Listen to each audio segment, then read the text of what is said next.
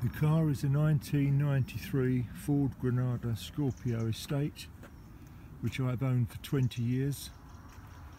The antenna is homemade.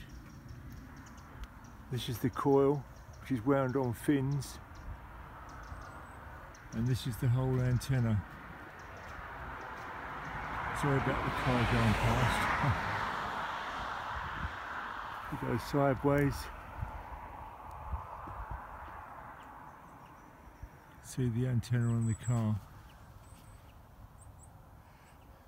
The rig is mostly homemade and we go around and have a look at that now if the sun isn't too bright in the boot.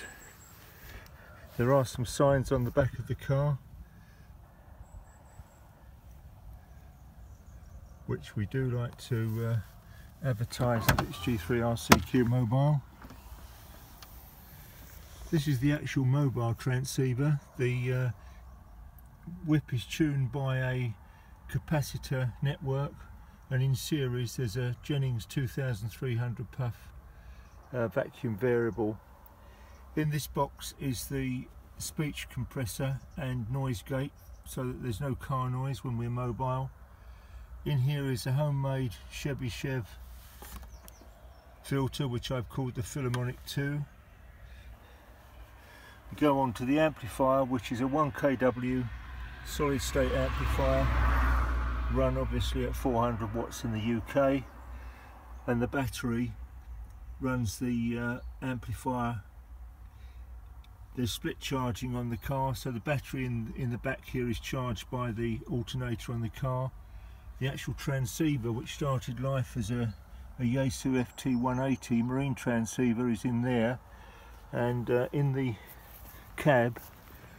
If we go around here I have uh, a complete system of uh, I can see the forward and reverse SWR and the power.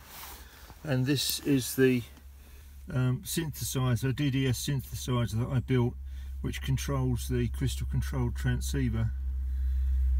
So that's about the story um, there'll be some other pictures on my website showing the 160 meter coil which is also wound on fins.